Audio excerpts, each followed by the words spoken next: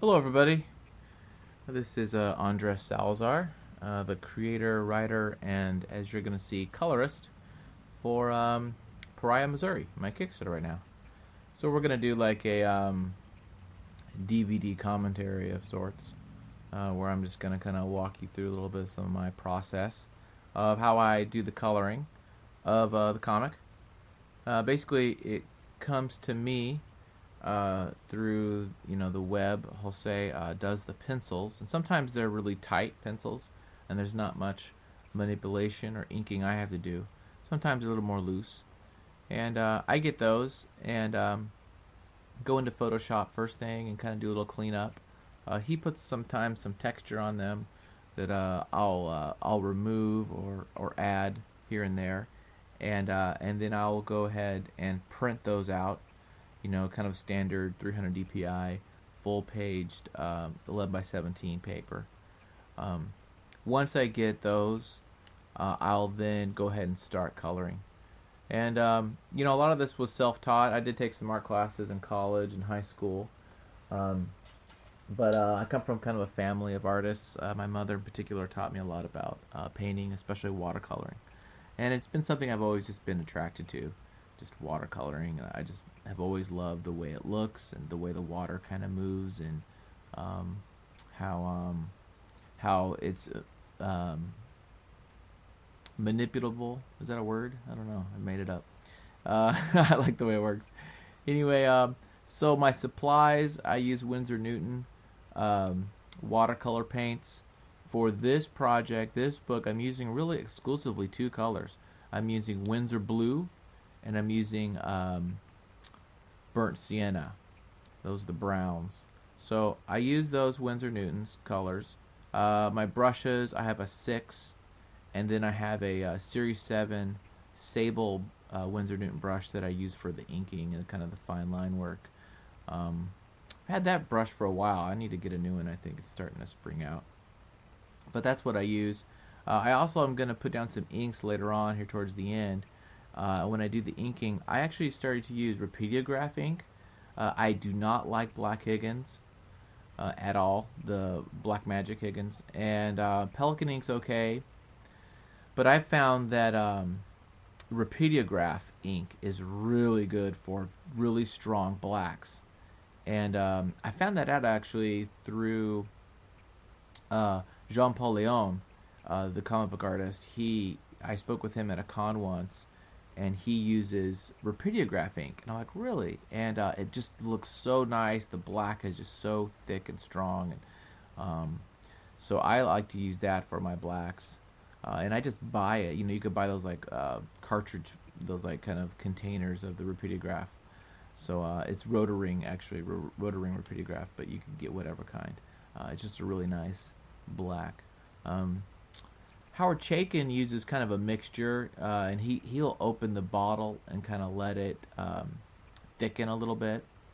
His blacks when he does, and when I did uh, some some work with him as one of his assistants, um, he used kind of a, he used a mix, and I can't remember what the different brands that he used, but he kind of used Pelikan with some other stuff, uh, and made his own little concoction. He had these big, huge, like one liter bottles of, of, of ink, which was kind of fun.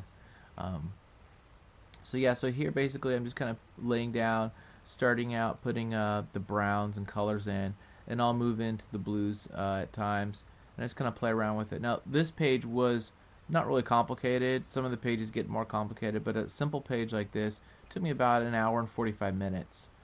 So um, about an hour and 45 minutes, two hours a page usually. Uh, some of the more complex ones with a lot of characters, it's going to take a little longer to do. Um, but I just sit here and in my uh, my Spider-Man pajama pants and my my crazy uh, aqua shirt, I'm um, doing my coloring.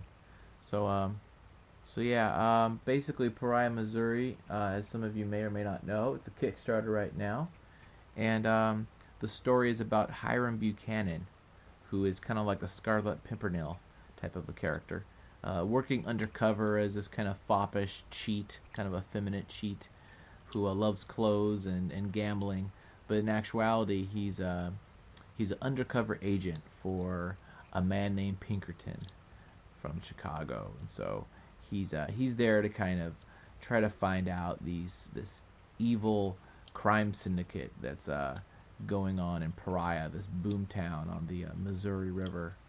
And so this is, happens at a couple years before the Civil War, which uh, I definitely want to get into that conflict later on in the series. But I wanted a book that's a little different than most westerns. Most westerns are post Civil War, and they're out in the Old West.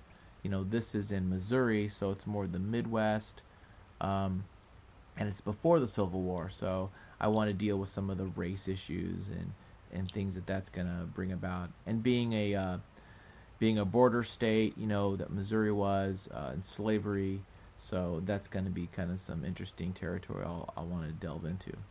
So the story, you know, I pitch it as kind of a Deadwood meets Buffy the Vampire Slayer, meaning um, there'll be some supernatural things, and and in this first uh, four issues, we're going to be uh, following the Emporium of Marvelous Wonders, this duo of theatrics that come into town, and, and they're not just human; they're uh, they're something more than that, and uh, we're going to be dealing with that. So it's, it's, a little bit of Buffy, a little bit of X Files, mixed in with a fun western.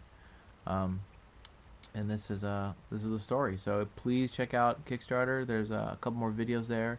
Also, um, you can download actually 20 pages free.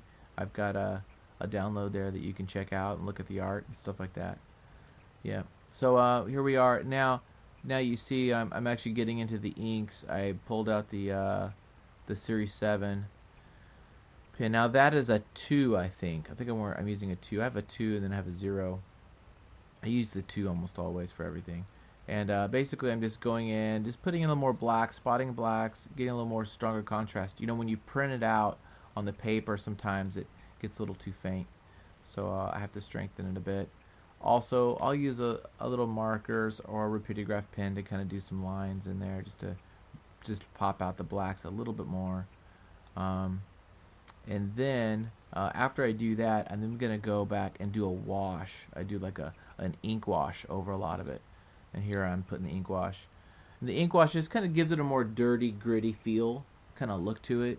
Um, I kind of like that old, uh, you know, tea stain kind of look. So uh, here I'm putting the the ink. You can kind of see me put the, come in the black ink. So I, I, I mix in. You got the la- the first layer of colors, brown and blue, and then I go in and do kind of an ink wash over it to kind of get it a grimy look. So that's what I'm going for, and uh, I think it's working out fine. You know, I, uh, people are really receptive to it, and I hope you enjoyed watching the video how I make it. And uh, yeah, please check us out on Kickstarter. Pariah, Missouri. It's uh, it's a fun book. Really excited about it. It's getting a lot of great reviews, and uh, I hope you support us. So uh, that's pretty much the the process of um, how I color the book. So I'm old school. I don't do it digitally. Uh, I love textile. I love touching. So there you go. Thanks a lot, guys.